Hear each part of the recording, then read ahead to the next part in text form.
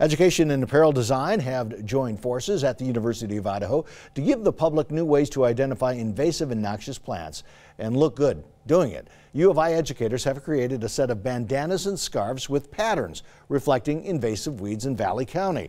They say they wanted to combine the idea of telling stories through apparel with invasive weed patterns to help slow the spread of the weeds.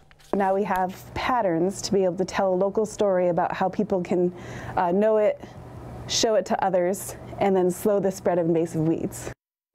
The scarves and bandanas feature patterns of spotted knapweed, yellow toadflax, and oxeye daisies, which are all invasive weeds found in Valley County as well as other parts of Idaho and Northwest.